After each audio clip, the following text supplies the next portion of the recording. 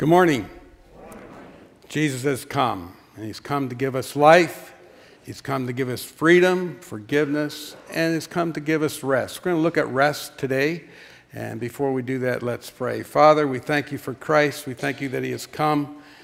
We thank you that uh, He has come to save us, to save us from our shameful sins, to save us from our guilt, to save us from those things that destroy us, imprison us. Thank you, He's come to save us from our fear, from our anxiety, from the stress of life. He's come to give us a new way of life, a new way of living. I pray we discover that together today. In Christ's name, amen.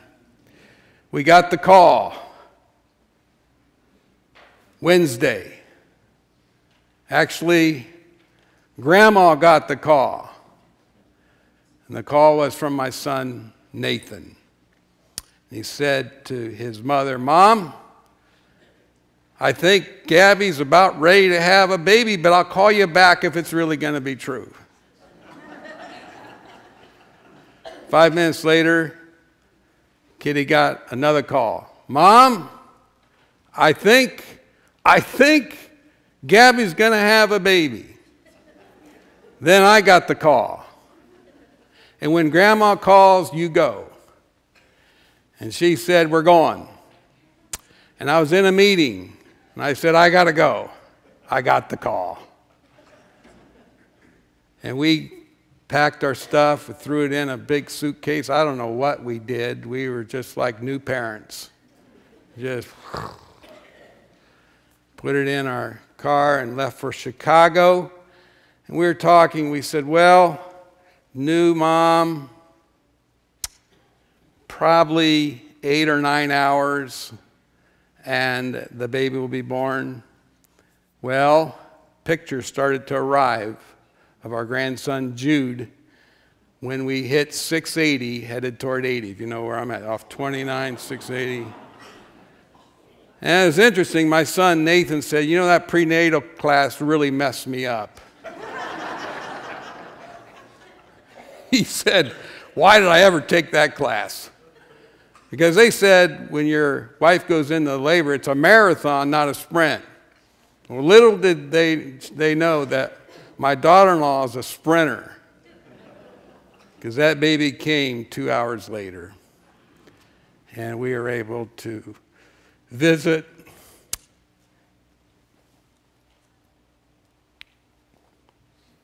Sorry.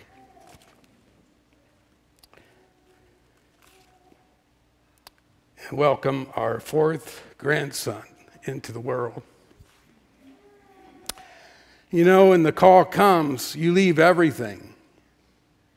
And when God calls, you leave everything. You leave work, you leave your spouse, you leave your family, and you go. When God calls, don't mess around. When God has a calling on your life, and He says, You go, you get in the car and you get on I 80. I don't care if it's snowing, sleet, 20 below zero, you go. Because the call has been given. And our response as believers is to say, Yes, I will go. Yes, whatever you want from me. Yes,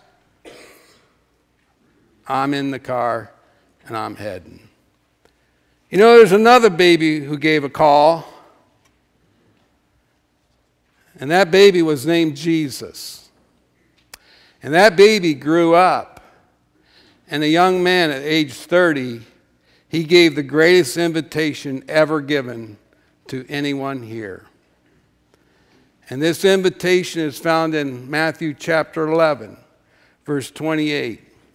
And my dream for you today is that you will leave everything today and you will follow the call of Jesus on your life. It's called the greatest invitation ever given, Matthew 11, 28. If you'll turn there with me. First of all, we see the call.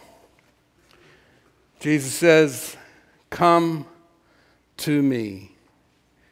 And so, who is this one who says, Come to me? His name's Jesus. What do we know about Jesus? Jesus is God.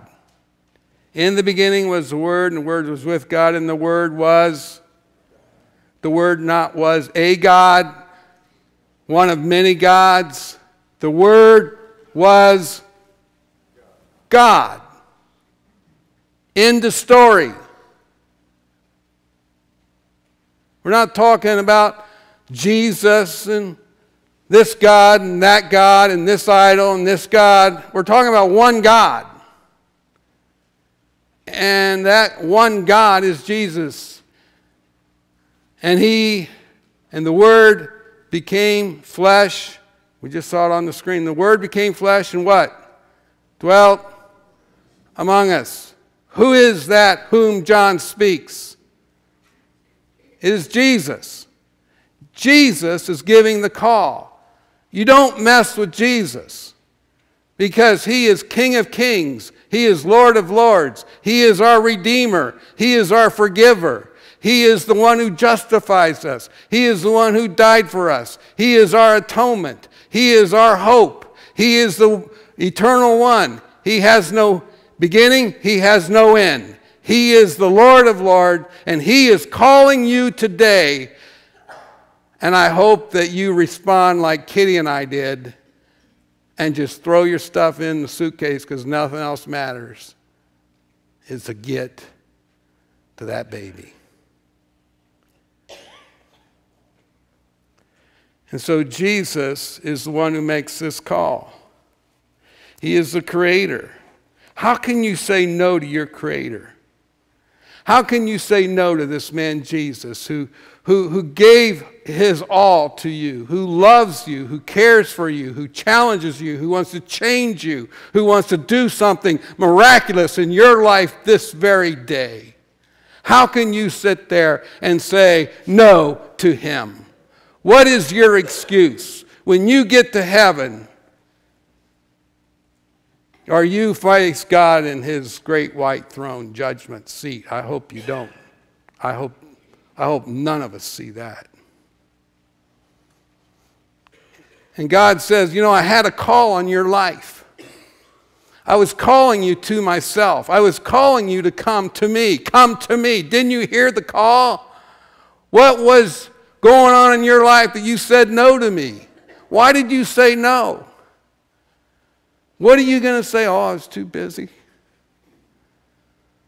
Oh, I had too many sins. Oh, I, I, I, I, I, I just, I, I just felt like I could do life on my own and I really didn't need you, Jesus. What are you going to say to him? When the invitation has been given. How could you say no? You know, when I was in Cranbrook in Canada pastoring, there was a man in our church who started a retreat. And uh, started off small, but within a few years, he was having 900, 1,800 on a weekend in November.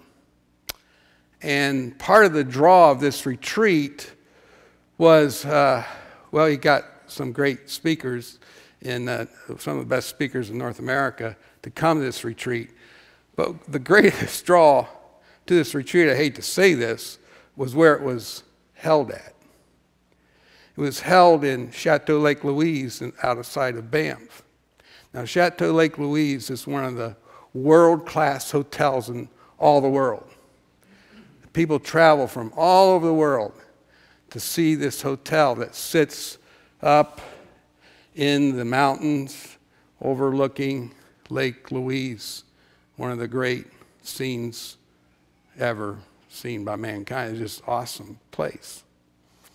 And so this uh, Chateau Lake Louise, he would get a deal on because it was right before ski season and right after the fall season, so he knew where to do this. So uh, one of the things he did was uh, he said to me, Tom, he said, um, I will sponsor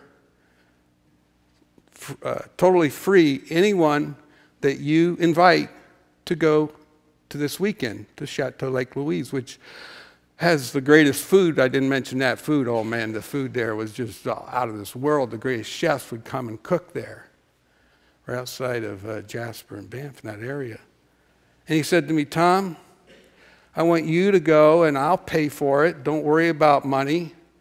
And uh, you get a list, and, and anyone who, who needs a touch from Christ, from God, or, you know, Tom, I don't even care if they go to the speaking times. You just invite them to a free weekend at Chateau Lake Louise. All expenses are paid. Everything, gratuity. You can go to any of the restaurants in there, and uh, you could ski or whatever you want to do. I said, Great. So I'd make a list every year of people that uh, I thought could go and might want to touch from Jesus. And you know what amazed me about that? How many people said no to me to a free weekend at this amazing resort? I was always amazed. And their excuses because they knew it was Christian. Well, you know, I got to do my laundry. Oh, really? Well, I got to get my hair done, you know. Or I got this, or I got that. I was always amazed. But you know what amazes me even more? I'm so amazed after all these years in ministry how many people say no to Jesus and the greatest invitation at all far surpasses Chateau Lake Louise. How many people simply say no to Jesus? I can't comprehend it. I cannot understand it. I have no idea how people think, how they can deny the Savior, how they can say no to Jesus when in America, we have every form, every way possible to hear this gospel message. It is presented over and over and over and over and over in our great country, and people by the millions, millions say no. I don't want it. I just, I can't comprehend that. I'm always amazed. No, I don't want to go to Jesus. I hope that's not you. I hope and pray that's not any of us here today. And I hope and pray it's none of our family. I hope and pray that all my grandsons will all say yes to Jesus. All my family will say yes to Jesus. All my friends will say yes to Jesus. All those in this church and my church here will say yes to Jesus. Come to me. He doesn't say, now come, go to, you know, you go to your pastor, which is a good thing most of the time. Or go to your priest, or go to this, or go to that person, or go to a conference, or go here. Jesus directs us to come to me directly, come to God directly. The invitation is given, the call is given. But we also have the requirement. Only those who are burdened and weary will go to Jesus. All you who are weary and burdened. That's who he's talking about. And if you're weary and burdened, you make the qualification to come. This weariness, the weariness of this, this word means to be exhausted, to work, to labor, belabor something, to work till you drop. I, he's not talking about physical work, he's talking about inner work, the soul, the mind that's working, that's carrying, that's trying to figure out life, trying to figure out purpose, trying to figure out the call upon their life. They're trying to figure out family life, trying to figure out personal life, trying to figure out work life, trying to figure out your spiritual life, trying to try and you just you're just exhausted trying to please God, trying to do all these things, trying to to make yourself, you know, free before God. He says, All you are weary, you're just weary, you're just tired and burden.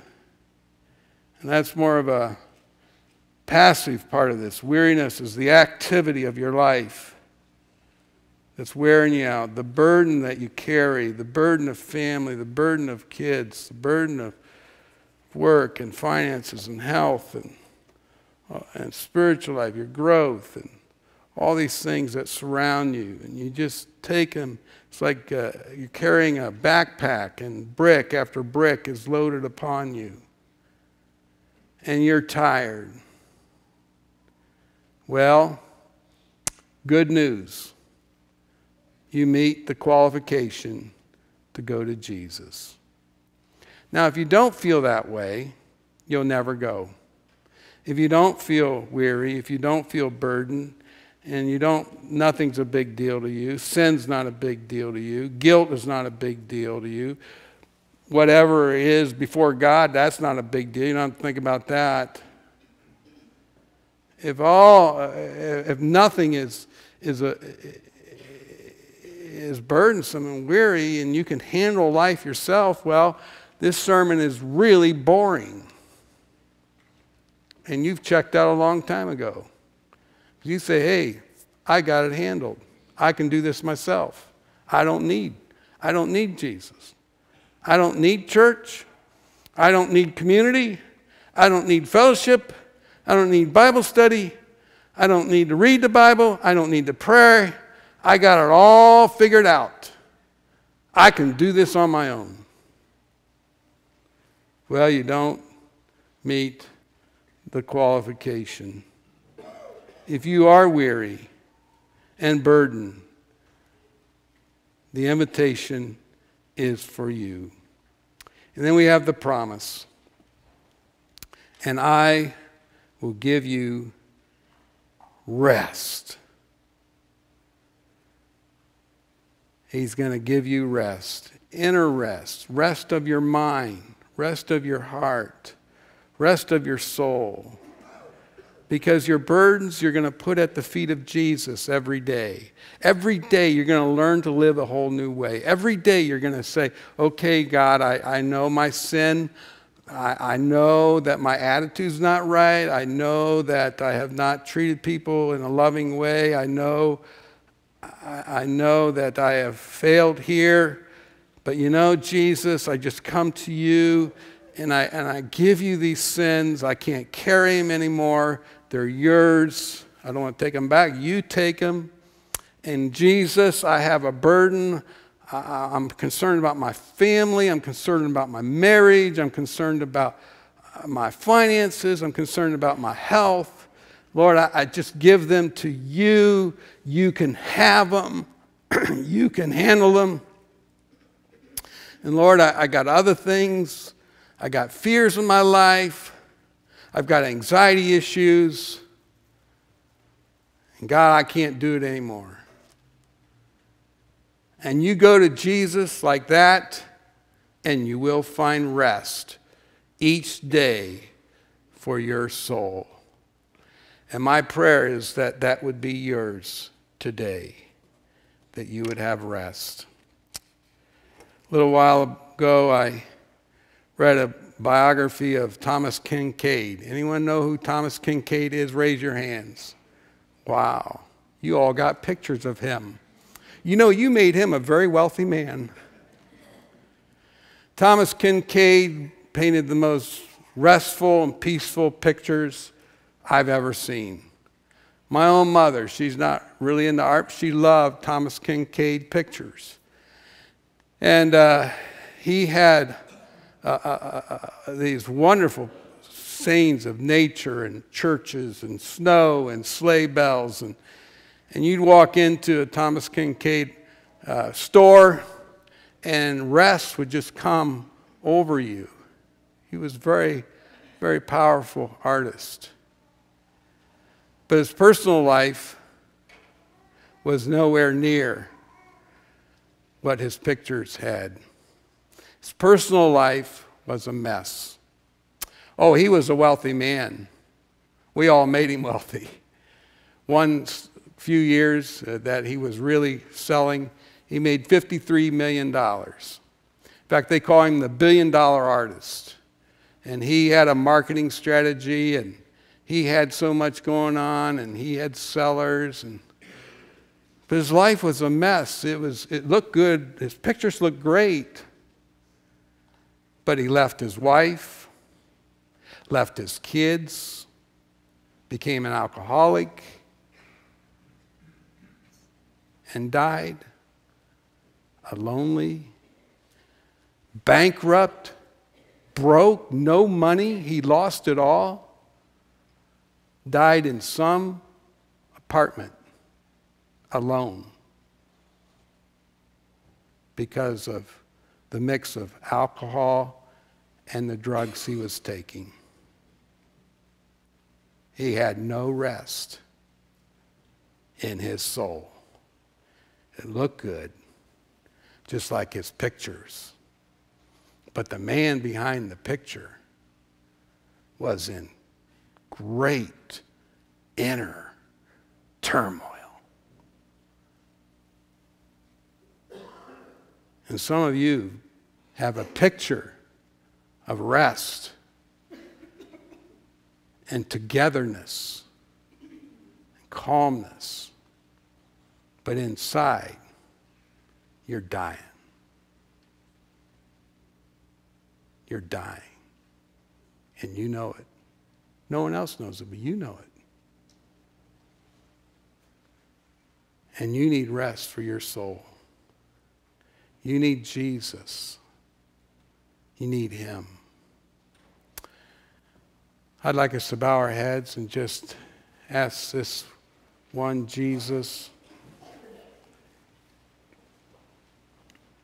to come and to give you rest. He can do that. Why don't you receive Him today? Ask Him into your life. Ask Him to come and to give you rest for your soul. Augustine said, Our souls are restless till they find thy rest in thee. Until you find Jesus, there will be no rest. Father, as we look to you, I pray, Father, as uh, we uh, bring this message to a close, I pray that the words of Jesus would strike us, would cause us to come to you and lay our burdens down at your feet, to lay our weariness, to lay our sins, our guilt, our shame at the feet of Jesus. How I pray, Lord, that uh, inside of us, in the inner man, there would be peace and rest. Thank you for this time together. We bless your name. In Christ's name, amen. We're going to hear the choir sing. If they would come forward, haven't we had a wonderful time with our choir? Let's give them a hand as they come forward. It's just been awesome. This is our best choir we've ever had. Yes. And uh, they're going to sing some, uh, I think, Handel, right? And who else, are, who else is on the docket? Two selections from Handel's Messiah and one from Vivaldi's Gloria. Wow, now that's going to be quite a challenge, but uh, I think you'll enjoy it. So uh, it's great to have you here today, and we're going to hear from our choir right now. The first time music is really mentioned in the Bible is in Genesis 4 when they talk about Jubal, who was the, the father of all who play the flute and the harp. And throughout all the ages, composers of varying skill levels of varying styles of music have used music to glorify God, from anything from a, a simple spiritual that repeats the same words over and over, which somewhat like modern music worship, modern uh, worship music sometimes, to very, very complex oratorios that were written during the Baroque and some of the major classical periods. All of those different kinds of music do the same thing. They express our, our amazement at God, we express our uh, worship of Him, and it can be done in so many different ways. This morning, we're going to do something that's a little bit different than what we traditionally do with the adult choir at Christmas time. Normally, we do things that are a little bit more in a contemporary vein, but this morning, we are going to share with you some songs that have been used to glorify God for somewhere around 275 years. Uh, as we mentioned before, the first two selections are from Handel's Messiah, which is a, a wonderful piece written by Handel to ex- express the life of Jesus, which I'm sure you have all heard of. And the second is a short selection from Vivaldi's Gloria. And we hope this morning that that is a blessing to you as we realize there are very, very many different styles of music that we can use to worship God with.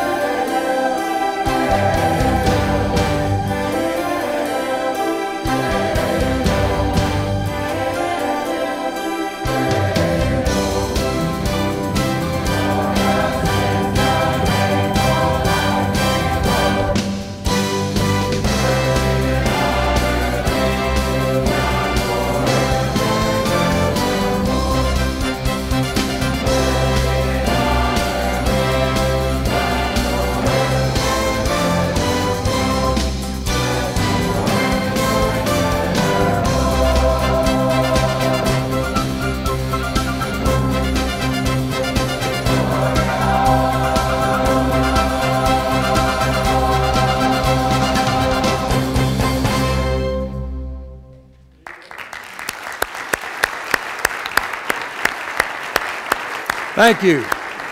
Boy, I could hear some more of that. That was awesome. Let's stand together and pray a prayer of benediction before you go. Pray over our food. You're invited to our lunch. Love to have you. I hope everyone goes. It's all ready for you. Also, Christmas Eve service, 6 o'clock. Then Sunday morning, a 10 a.m. service, but they're the same services. Now, you want to go to the same service, both of them, you can, or you can choose. You can come Christmas Eve or you can come Sunday morning. It's great to have you here. Lord, wow. We truly praise your name. We are filled with joy because of Christ. Our hearts soar to you. And we're so thankful for Jesus. May he live this week with us as we come back together for Christmas Eve or the Christmas Day service. May we truly bow and honor him and worship him as the true and living God.